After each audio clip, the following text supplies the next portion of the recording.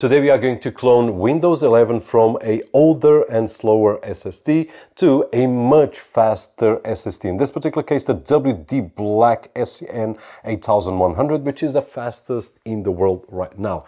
14,000 megabytes per second, which is just huge. First of all, we will need to put our new SSD on our laptop or desktop. In this particular case, I'm using the Asus ROG Strix G16 from 2025. It has two slots. I can just open it up with just one click. So I can place in a second SSD or I can replace the original one. Once we install the SSD on our computer, desktop or laptop, we just need to turn on the PC and open our browser. Search for Disk Genius, which which is completely free. Just go to the official website and download the tool. Now we just need to run the installer, which will take about 30 seconds or so. And if you are watching this video on your Windows 10 or 11 computer and you still haven't activated and can't even edit your desktop icons.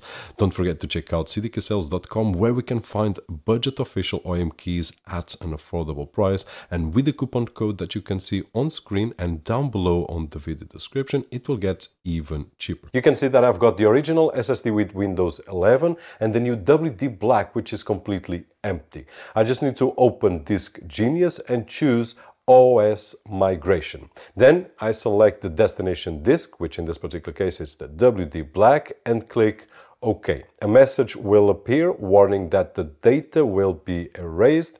I just need to press OK. If you have any data, just back it up. And then we just need to click on Start. But before we do that, we can choose some of the optional settings like the prevent the computer from sleeping, which comes already enabled. We also have the option to automatically set the new SSD as the boot drive or choose to change the boot drive manually via BIOS. In this particular case, I didn't select either of the boot options. I just clicked on start and it will ask again to confirm the data deletion and we are going to say OK. And now we will have two options. The option to reboot to WinPE, which will do the clone outside of Windows and this is probably the best method.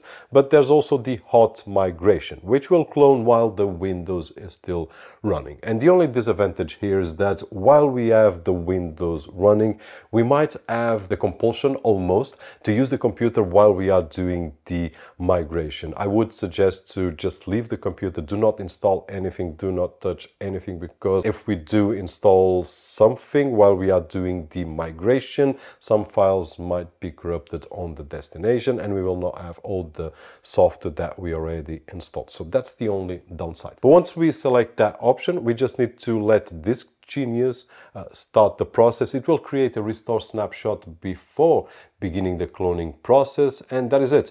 Time will depend on our SSDs. In my particular case, I do have one with 6000 megabytes per second of speed and then I also have the WD Black which achieves 14,000 megabytes per second reads, which is just awesome. Now the transfer ran about 5,500 megabytes per second, which is the maximum of these two, and it roughly took about seven minutes to complete. But this will depend on the SSDs that you are going to use. Now, once it's finished, it will ask us if we want to restart our PC, and we can click that button or we can reboot it manually. And when the PC restarts, we just need to go to our BIOS and then set the new SSD as the boot drive. In my particular case, as I'm using the Asus ROG Strix G16 2025, I can keep both SSDs and then I can choose which one to use and that's exactly what I'm doing right now. I'm testing out the speeds of the WD Black and I'm comparing with the original SSD that comes with this